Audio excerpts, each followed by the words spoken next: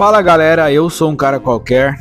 Pessoal, mais um vídeo convocando aí todo mundo a boicotar a Marvel. Sim, cara, não tem base a Marvel nessa situação que ela se encontra achar que tem possibilidade desse novo filme do Quarteto Fantástico ter algum tipo de sucesso, fazer algum tipo de bilheteria.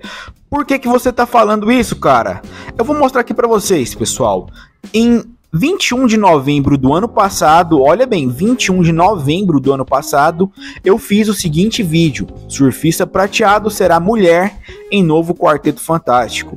Isso era um rumor, tá certo? Era um rumor que saiu na época de insiders, né, falando que a Marvel estava pensando em fazer aí o, sur o surfista prateado ser mulher. E não é que esse rumor era verdadeiro. Olha só a notícia que saiu ontem. Julia Garner será surfista prateado em novo filme do Quarteto Fantástico. A atriz foi escalada como versão feminina do Arauto de Galactus, numa variação da história original da Marvel. E eu te pergunto, meu caro inscrito ou meu caro telespectador que está vendo o vídeo, que não é inscrito, que não quer se inscrever porque a maioria das pessoas que assistem aos meus vídeos ainda não é inscrito. Eu te pergunto, o porquê que a Marvel tá fazendo isso? O porquê que a Marvel tá trocando um personagem tão icônico e que tem uma fanbase tão gigante nesse novo live action do Quarteto Fantástico? É sério, uma pergunta séria. Você consegue me explicar de forma racional, tá certo? O porquê que eles estão trocando? Não tem explicação, pessoal. Não tem explicação. A gente já viu o Quarteto Fantástico falhar várias vezes no cinema e olha que o Quarteto Fantástico é uma das equipes mais populares da Marvel. Eu já disse aqui, você tirando o Spider-Man, os X-Men e o Hulk, provavelmente o Quarteto Fantástico era uma das equipes mais populares. O cinema nunca fez jus ao Quarteto Fantástico. Aí quando a Marvel pode fazer algo para agradar os fãs, ela simplesmente troca aí um dos personagens mais aguardados do filme. Eu te falo uma coisa, pessoal, isso é muito bem pensado, tá certo? Isso é muito bem pensado.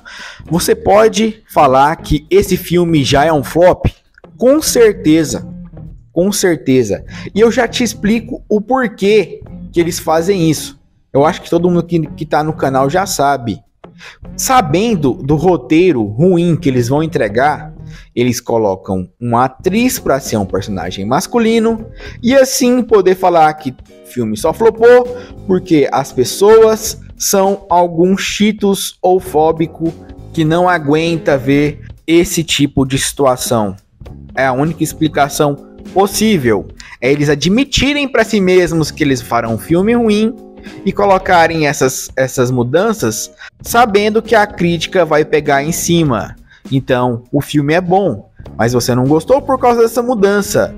Eu já posso falar que eu não vou assistir e incentivo sim a todo mundo aqui a não assistir também. Ah, vou lá ver só pra. Não, cara, não assiste. Não assiste. Vocês sabem que eu sou muito sincero com em relação a filme. Se o filme é, ele é legal, eu recomendo assistir. A série é legal, eu recomendo assistir, mesmo que não seja 100% igual.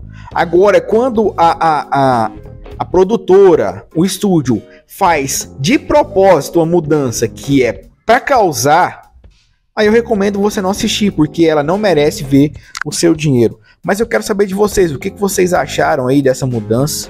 A gente já tinha aí mais ou menos ideia que ia acontecer, né? Mas eu quero saber o que vocês acham dessa confirmação. Deixe aqui nos comentários. Não se esquece de se inscrever, deixar o like, compartilhar se você puder. A gente se vê na próxima. Falou, valeu e até.